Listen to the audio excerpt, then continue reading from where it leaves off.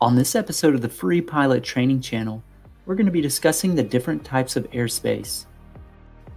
This is a really important subject for pilots to learn because we need to know the different rules, weather minimums, and equipment requirements for each type of airspace. We have different types of airspace to keep aircraft separated and to keep us from hitting each other. There are four basic types of airspace controlled, uncontrolled, special use, and other. In this lesson, we're going to focus on controlled and uncontrolled airspace.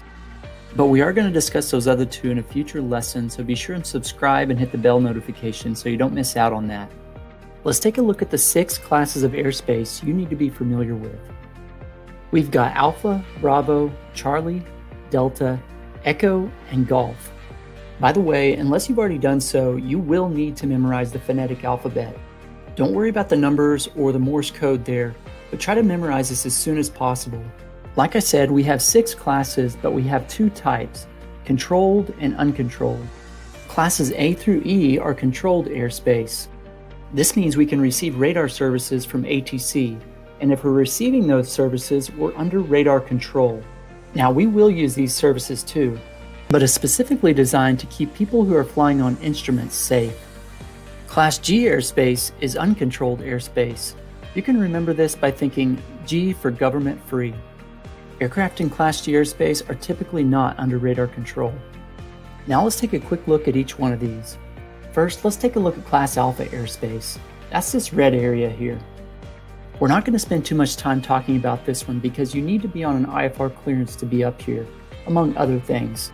But you do need to know that Class Alpha airspace goes from 18,000 MSL to flight level 600. That's a pressure altitude of 60,000 feet. By the way, you heard me correctly, this is 1 8,000, not 18,000. From now on, when it comes to altitudes of 10,000 feet and above, we need to enunciate them this way. For example, instead of 10,000, we should say 1 0,000. This is 1 1,000, 1 2,000, 1 3,000, and so on. We don't ever want there to be confusion at which altitude ATC wants us at, if you're wanting a good way to remember Class A airspace, remember A is for above. This airspace is above where we can go as VFR pilots. Now let's take a look at Class Bravo airspace, which here is depicted as this yellow upside down wedding cake. Class Bravo airspace is really busy airspace. You'll see this around really big airports like Dallas Fort Worth and Chicago O'Hare. A good way to remember this is that B stands for busy Class Bravo airspace starts at the surface and typically goes up to 10,000 feet AGL.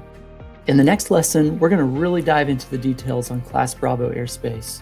But for now, just remember that we need to be specifically cleared by ATC to go in there. Class Charlie airspace is crowded but not as busy as Class Bravo. It's also shaped like an upside down wedding cake. It is smaller though, and that upper level is typically only 10 miles in diameter. This airspace starts at the surface and goes up to 4,000 feet AGL. Remember, C is for crowded, and we also have to communicate with ATC before we can go in here. Next up, we have Delta airspace. Typically, Class Delta airspace is shaped like a cylinder. It's usually 5 miles in diameter and it surrounds smaller towered airfields. This airspace starts at the surface and goes up to 2,500 feet AGL. The D here stands for dialogue because we need to talk to their tower before we can go in their airspace. Next, let's look at Class Echo airspace. You can remember this airspace by thinking E is for everywhere else. That's because Class Echo airspace is controlled airspace that's not designated as Alpha, Bravo, Charlie, or Delta. Most of the time, Echo starts at 1200 AGL and goes up to the bottom of Class Alpha. Sometimes in busier areas, Echo will start at 700 AGL though. Probably the biggest thing new pilots forget is that Class Echo is controlled airspace. Just remember, we can get radar services here, so that makes it controlled airspace. The last type of airspace we're going to look at today is Class Golf. As I already mentioned, G is for government free because this is uncontrolled airspace.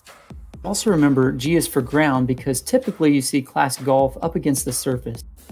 Basically, Class Golf is everything that's not Alpha, Bravo, Charlie, Delta, or Echo. And it's the least restrictive of all the airspace classes. I hope you guys got some really good training today. Please hit that like button for me, and I'll see you in the next episode.